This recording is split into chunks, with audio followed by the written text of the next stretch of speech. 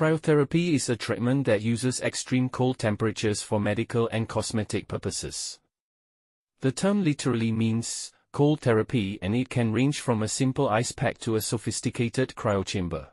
How it works. The core principle is that exposing the body to extreme cold causes a physiological response. This can happen in two main ways. Localized application. A healthcare provider applies a freezing agent, like liquid nitrogen or argon gas, directly to a small, targeted area of the body. The intense cold freezes and destroys abnormal tissue. Whole body exposure. This is the kind you often see in sports and wellness centers. A person stands in a special chamber or a cryosauna for a few minutes while their body is exposed to cold, dry air. This causes blood vessels to constrict and then rapidly expand after the treatment, which is thought to boost circulation and reduce inflammation. Common uses The application of cryotherapy depends on the type, medical and dermatological. Or a cryosurgery.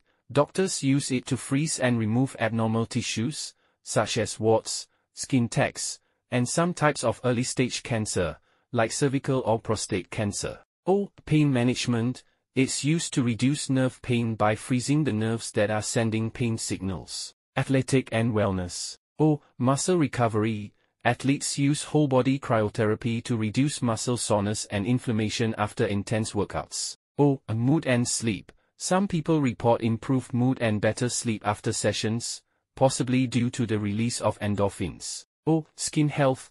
Cryotherapy is sometimes used in beauty treatments to tighten pores and reduce inflammation. Final Finally, it's important to consult with a doctor before starting any form of cryotherapy, especially if you have pre-existing conditions like heart disease, high blood pressure, or cold allergies.